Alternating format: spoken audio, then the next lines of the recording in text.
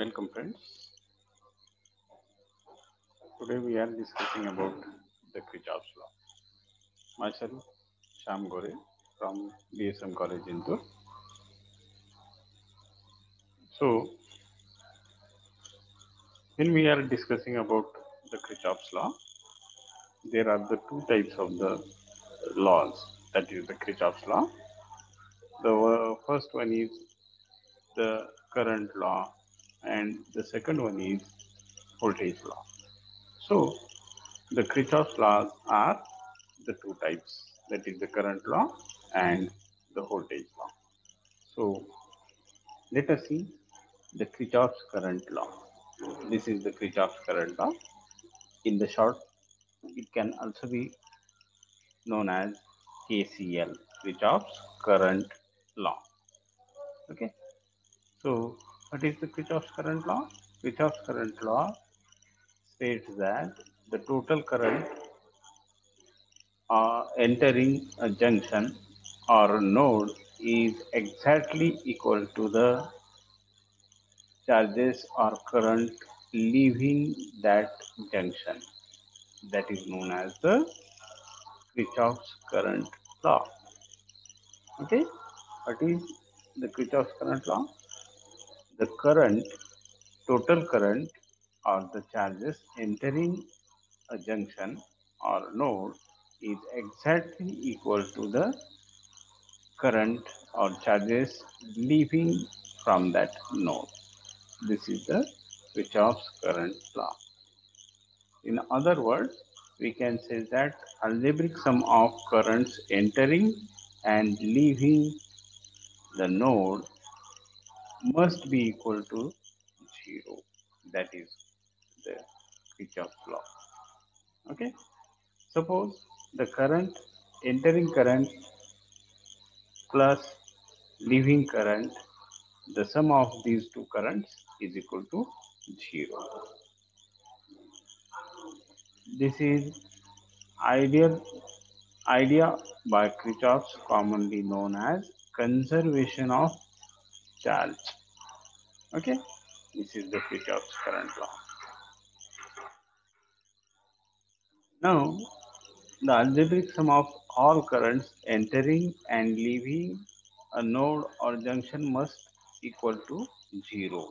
That is, I entering and I leaving is equal to 0.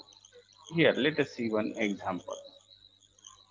Here, this is the node or the junction where the number of paths are meet together. That is known as the node. Here, this is the first path or this is the first way. This is the second path. This is the third path. This is the fourth path. This is the fifth path. In this way, there are the five ways. Okay and all these ways or paths meet at this point and this point is known as the node okay or the junction. Now here if you looking towards these three paths and here the current is flowing through all these branches. Or these are the branches. This is the first branch second branch third branch fourth fifth branch and all branch comes together here. Okay? And here the current flowing through this branch is the incoming current or entering current towards the junction. This is also the incoming current. Current comes towards the junction. Here this is the this is also current coming towards the junction or the node. I1 i2 i3 these are the incoming current. Okay?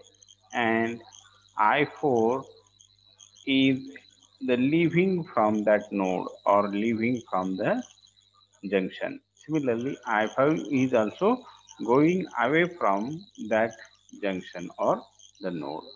Okay? So the three currents are coming towards this junction and the two currents are going away from that junction. Okay so how may the current which is coming to this junction is equal to the current outgoing from that junction. Therefore, according to the Kirchhoff's law, we can say that the I1, I2, I3 is equal to I4 plus I5 or we can write the equation for all these current like this I1 plus I2 plus I3 the entering current or incoming current is taken as the positive and the current which is leaving from this junction or going away from the junction is taken as negative. Therefore, I4 is negative, I5 is negative. And sum of all these currents I1 plus I2 plus I3 minus I4 minus I5 is equal to 0. So, this is the Kirchhoff's current law. Here, the term node is electrical circuit generally refers to the connection or junction of two or more current carrying paths or the element each such as cable or component. Okay? And here the sum of incoming current is equal to the sum of outgoing current. Okay how much is the incoming current that is equal to the outgoing current. This is the Kirchhoff's current law. Now, let us see the another type of the law that is the Kirchhoff's voltage law. And Kirchhoff's voltage law is also be known as the KVL. And the KVL or Kirchhoff's voltage law states that the in any closed path. This is the closed path. If you looking towards this figure all these components are connected together. And there is the no open end in this circuit. So such types of the circuit is known as the closed loop or the closed path. And in such a circuit in any closed loop network this is the network in any closed loop network, the total voltage around the loop is equal to sum of all voltages drop within same loop. Okay, the total voltage around loop is equal to sum of all the voltage drop within same loop that is known as the Kirchhoff's voltage law or which is also be equal to the 0. In other words, we can say that the algebraic sum of all voltages within loop must be equal to 0. This idea by Kirchhoff is known as the conservation of energy. Okay, starting at a, any point in the loop, continue in the same direction of all voltage drop either positive or negative and return back to the same point it is important to maintain the same direction in clockwise or anti-clockwise or final voltage is sure will be equal to 0. We can use the Kirchhoff's voltage law when analyzing series circuit means we can say that the voltage drop across this resistance voltage drop across this resistance voltage drop across this resistance voltage drop across these this resistance. Voltage drop across the all resistances equal to zero. Suppose the voltage from a to b is equal to vab voltage from b to c is equal to vbc voltage from c to d is equal to v CD and voltage from D to A is equal to VDA and if we sum all these voltages or when we add all these voltages and sum of these voltages is equal to 0 this is the Kirchhoff's voltage law. Okay? Now let us see sign convention when we are going from one place to the another place. Okay? So let us see the sign conventions. A rise or increase in voltage would be considered as positive. When voltage is increases when we are going from negative to the positive which can be considered as the positive that is known as the increasing voltage. Okay? A fall or decrease in voltage would be considered as negative. This is not positive negative. Fall or decrease in voltage considered as negative sign not positive okay? Decrease in voltage means when we are going from positive to negative that is known as the or for that purpose we are taking the negative sign. Let us see how to apply these conditions in this circuit. Now when we are moving from point a to b b to c c to d d to a. Here this is one resistance okay? This is another resistance. This is the battery okay? This is one resistance. This is the another battery this is also another resistance for the battery or emf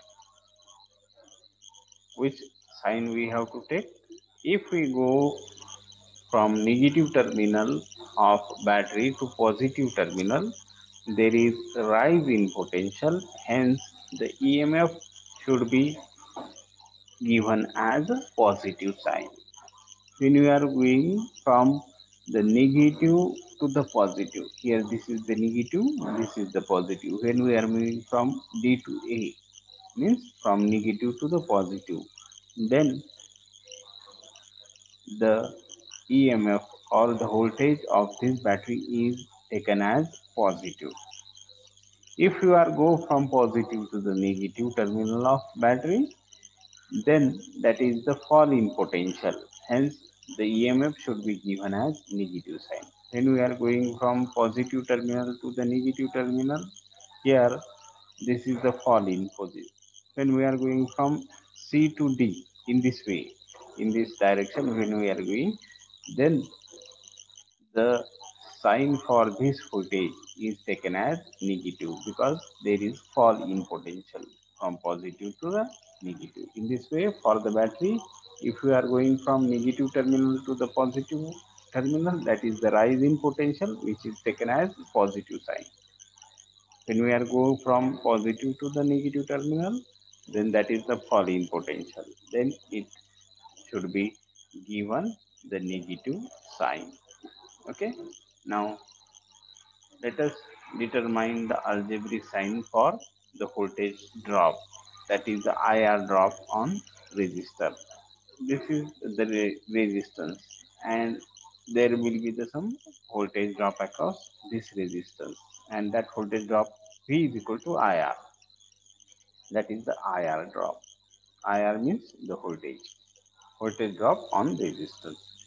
If we go through resistance in the same direction as its current direction then there is fall or decrease in potential hence this IR drop should be taken as negative.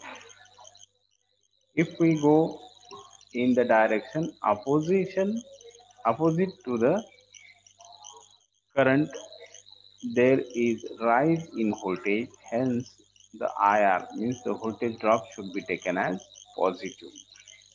When we are going from the positive to the negative actually the direction of current is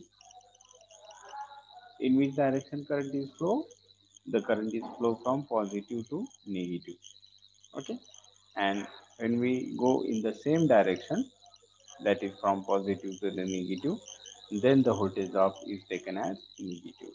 Same like as the emf when we go from negative terminal to the positive terminal then the IR drop should be taken as positive now consider this loop A B C D A and here when we are go from the A to B, B to C, C to D, D to A. This is the clockwise direction.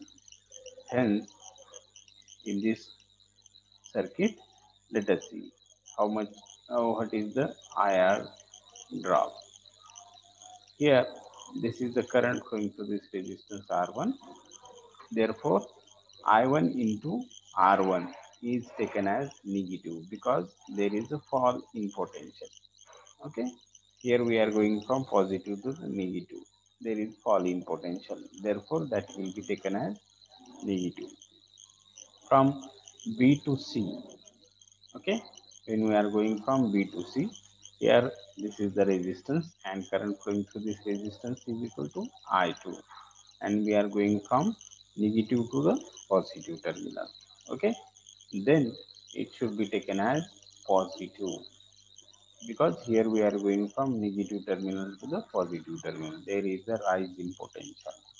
Now when we go from C to D there is one source that is the E2 and here we are going from positive terminal to the negative terminal. Therefore there is the decrease in potential. Okay?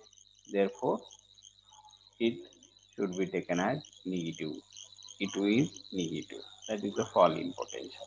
When we are going from this C to D there is one resistance and current flowing through this resistance is I3 and value of this resistance is R3 therefore I3 R3 should be taken as positive. Because we are going from negative terminal. Okay?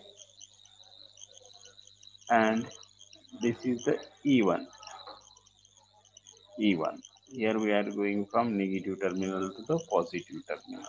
There is rise in potential. Therefore it should be taken as positive. Now from this resistance when we are going from D to A this voltage that is the IR drop is equal to negative because there is a fall in potential. And hence according to the Kirchhoff's law Kirchhoff's law says that the sum of all currents is equal to the zero. Okay? Therefore let us add these voltages.